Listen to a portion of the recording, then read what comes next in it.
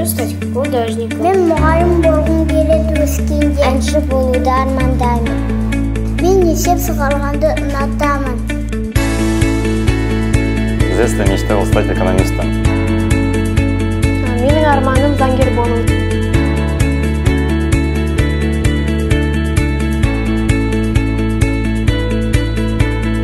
махамбет өтемісов атындағы батыс қазақстан мемлекеттік университеті тек педагогикалық мамандарды даярлап қана қоймай сонымен қоса заңгер экономист мәдениет және өнер саласындағы мамандарды даярлайды. Университет оқытушылар мен студенттердің шығармашылық әлеуетін сақтап ұжымдастық достық қасиеттерін сақтай отырып ұрпақтан ұрпаққа дәстүр ретінде жалғастырып келеді. Аймақтың жаңғырту орталығы болуға мүмкіндік беретін ұлттық келісім мен мәдениет аралық диалогтың еуразиялық идеялары негізінде оның қазақстандағы байырғы жоғары оқу орындарының бірі ретінде дәстүрлерін сақтау және арттыру.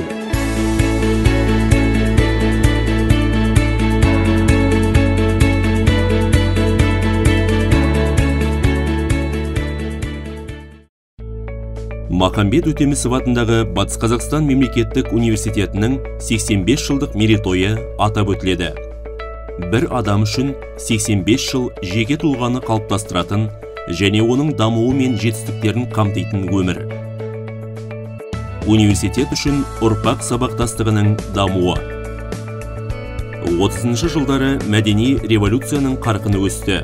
Ең алдымен бұл білімге қатысты болды. Елімізде білімнің әртүрлі салаларына сауатты мамандар қажет болды. Өйткені сол уақытта сауатсыздықты жою әлі жалғасты. Мектептер желісі өсті мұғалімдер жетіспеді. Сол уақытта орал қаласында педагогикалық институт ашу қажеттілігі туындады. Ал 1932 жылдың бірінші қазанында казрайкомның жарлығымен оралда қазақстандағы екінші педагогикалық институт ашылды. Орал педагогикалық институтына академик покровскийдің есімі берілді. Директор болып бекжанов шайхислам бекжанұлы бекітілді. 1933 жылдан бастап директор ретінде иван куприянович лукьянецті тағайындады. Материалдық техникалық база нығайтылды. Институт қызметкерлері ғылыми педагогикалық кадрлармен жасақталды. Ресейден мұғалімдер жұмысқа шақыртылды. Институтта үш бөлім болды. Физика математикалық химия биологиялық қазақ тілі мен әдебиеті. Студенттердің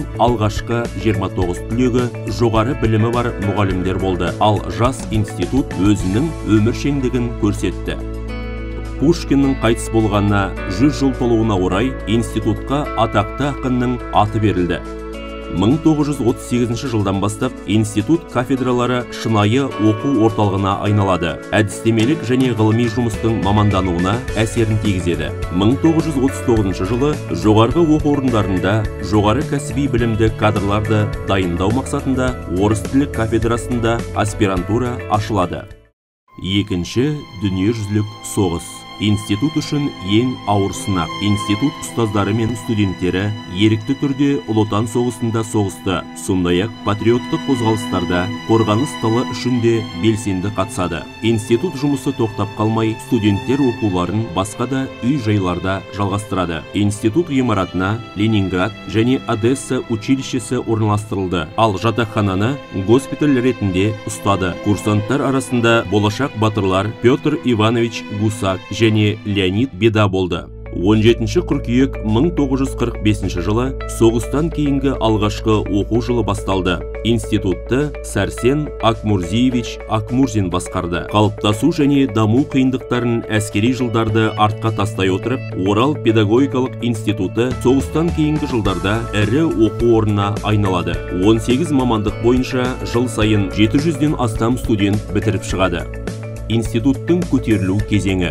Жалпыға бірдей міндетті орта білім беру туралы шешім енгізілген соң әртүрлі мамандықтарда мұғалімдерді дайындау қолға алынады. Институттың ғылыми зерттеу жұмысы жетілдіріліп профессорлық оқытушылық құрамы кеңейеді. Төрт факультет жұмыс жасайды. Жоғары білікті мамандарды көбейту мақсатында аспирантура ашылады. Оны профессор всеволод васильевич иванов және доцент георгий ефремович москалев басқарды. Орал педагогикалық институтының елу жылдық мерейтойына байланысты құрмет белгісі орденімен марапатталады.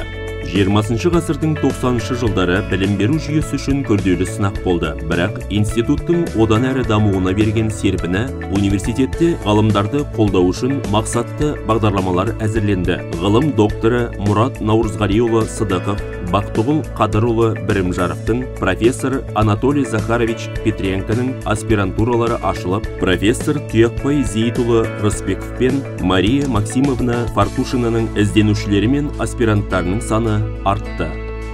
Қазақстан республикасы үкіметінің шешімі бойынша пушкин атындағы орал педагогикалық институты пушкин атындағы батыс қазақстан гуманитарлық университеті болып қайта құрылды. 2000 жылдың 14 ақпанында қазақстан республикасы үкіметінің қаулысы бойынша үш жоғарғы оқу орнының бірігуімен батыс қазақстан мемлекеттік университеті құрылды. 2003 жылы университетке өз халқы үшін күрескен батыр ақын махамбет өтемісовтің есімі берілді бүгінде махамбет өтемісов атындағы батыс қазақстан мемлекеттік университеті аймақтың жыл сайын үздіксіз дамып жетілетін әрі ғылыми білім беру орталығына айналды. Бұдан былай да университет өмірін жалғастырады жұмыс істейді және жаңадан дамып келе жатқан тәуелсіз қазақстан республикасына студент жас ұрпақты оқытады.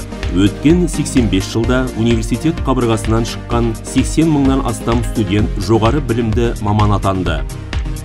Белгілі түлектердің қатарында қазақстанның және таяу шетелдердің көрнекті өкілдері саяси және ғылыми қоғам қайраткерлері де бар.